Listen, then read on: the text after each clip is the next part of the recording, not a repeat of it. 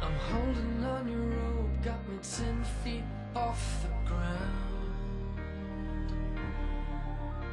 And I'm hearing what you say, but I just can't make a sound. You tell me that you need me, then you go and cut me